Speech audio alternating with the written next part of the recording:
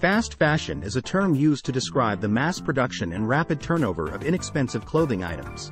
While fast fashion can be attractive to consumers due to its low cost and trendiness, it has significant environmental and social impacts. In this study, we'll explore the truth about fast fashion and its impact on sustainability. Environmental impact. Fast fashion has a significant environmental impact, from the production of raw materials to the disposal of clothing items. Here are some of the key environmental issues associated with fast fashion. Textile production. Fast fashion relies on the production of large quantities of textiles, which can be resource intensive and have a significant impact on the environment. For example, cotton production requires large amounts of water and pesticides, while synthetic materials such as polyester contribute to plastic pollution. Water usage. Textile production and garment dyeing require large amounts of water. In some areas, water resources are already scarce, and fast fashion can exacerbate water stress. Waste. The fast fashion industry produces vast amounts of waste, from unsold stock to discarded clothing items. Clothing items made from synthetic materials such as polyester can take hundreds of years to decompose, contributing to the global problem of plastic pollution. Social impact.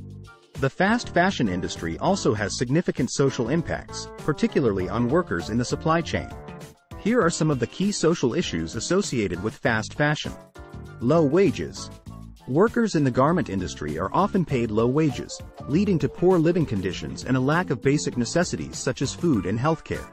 Poor working conditions. Many garment factories have poor working conditions, with long hours, little to no safety measures, and inadequate facilities. Exploitation.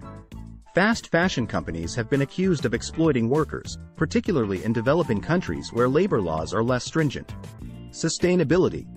Sustainability is a key concern when it comes to fast fashion. Here are some of the ways in which the fashion industry can move towards greater sustainability. Use sustainable materials.